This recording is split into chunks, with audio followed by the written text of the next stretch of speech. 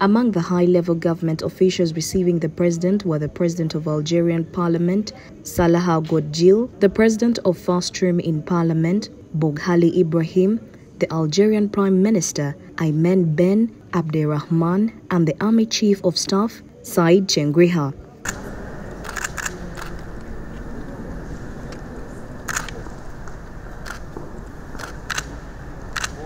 On the Ugandan side were the Minister of Trade, Francis Mwebesa, Harriet Ntabazi, State Minister for Trade, Dr. John Chrysostom Muyingo, the State Minister for Higher Education, Energy Minister Ruth Nankabirwa, among others.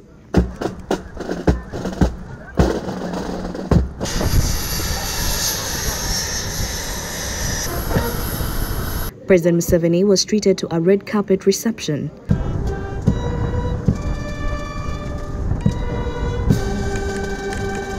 The president inspected a guard of honor mounted by the Algerian land, air and navy forces and also was accorded a 21 gun salute.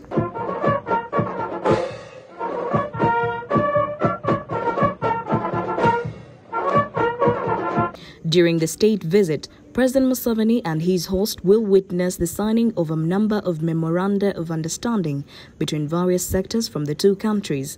They will also discuss ways of enhancing trade and investment between the two countries.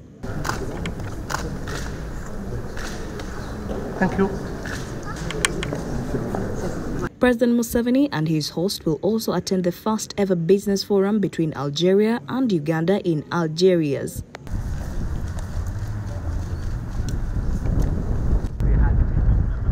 This is the president's second visit to the North African country after the first one in October 2015 at the invitation of the then president, Abdulaziz Bouteflika, that saw Uganda open its first ever mission in Algeria.